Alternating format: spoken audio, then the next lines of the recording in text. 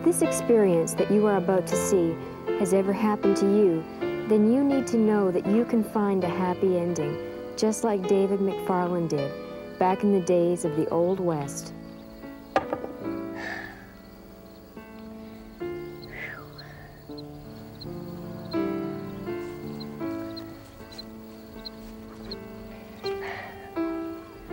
I got the wood all chopped, Ma.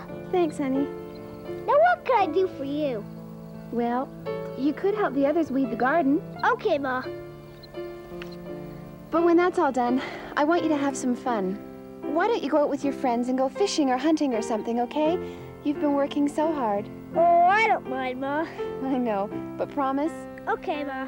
Okay. That boy, what would I ever do without him?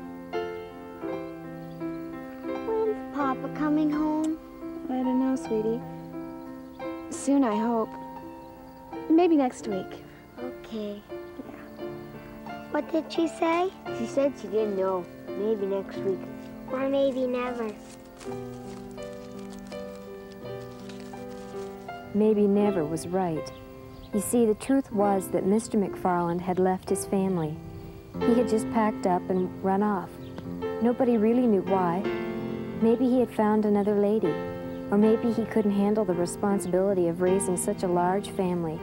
Whatever the reason, he was gone, and the McFarlanes were left to fend for themselves.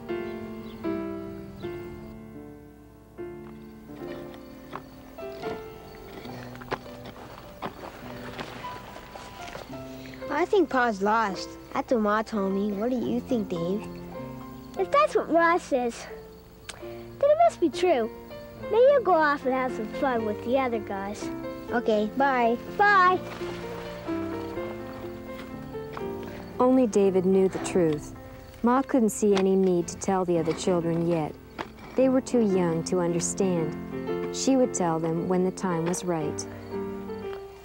Well, I guess I'm done. But all my friends are out doing something with their pas. Oh, yeah. At least I can look like I'm going somewhere.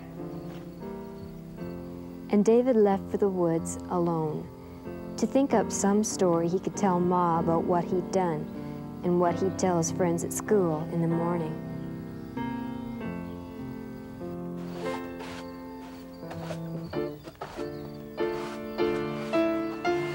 Hi, Ma. Oh, hi, David.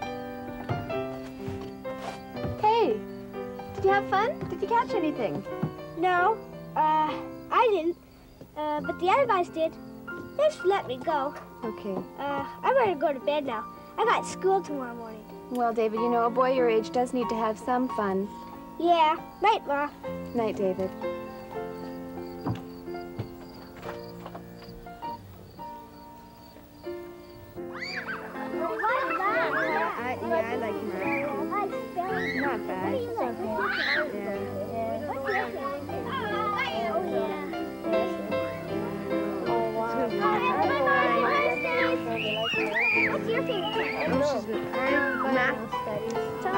Dad took me up to Moose Lake. I caught a fish this long. My dad used a spear. He did? Yeah. Well, my pa took me hunting. Oh, we camped no. overnight in the mountains. I could hear the wolves at night and everything. Weren't you scared? Nah, not with pa there. Oh, wow. What'd you do this weekend, Dave? Yeah. Uh, my pa and I went bear hunting. You did? Yeah. and We stayed in a cave overnight. Yeah, right? Weren't you scared? No, no, that was Pa there. We didn't catch any, but we found out where they hide out. Maybe next weekend. Oh, wow. Yeah. Oh, rats, we gotta go in. Yeah.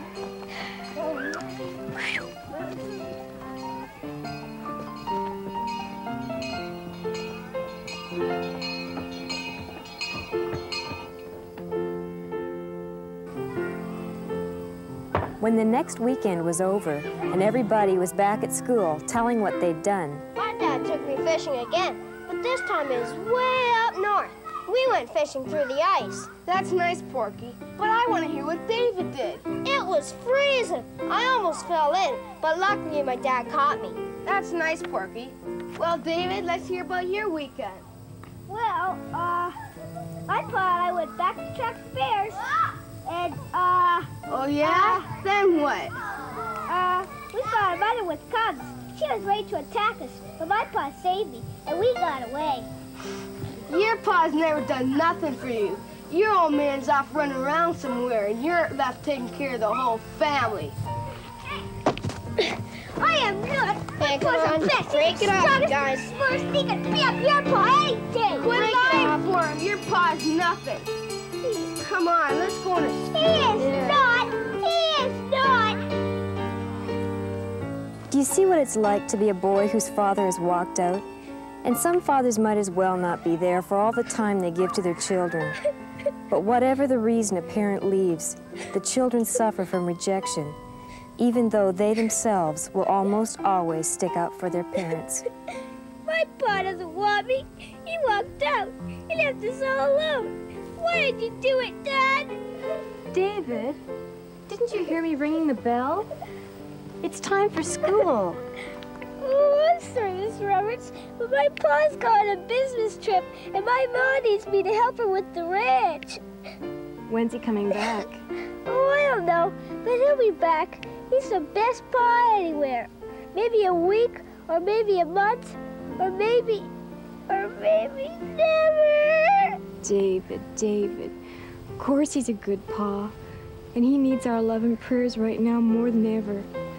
But until he does come back, he's not being much help to you, is he? No, Miss Roberts. But there is a father who'll help you if you ask him to.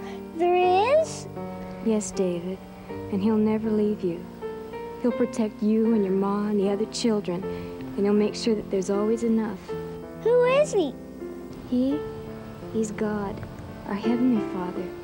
And he's real. And he's right here wanting to help you if you just ask him to. But I thought God was just an old crab that made you be quiet and wear clean clothes on Sunday.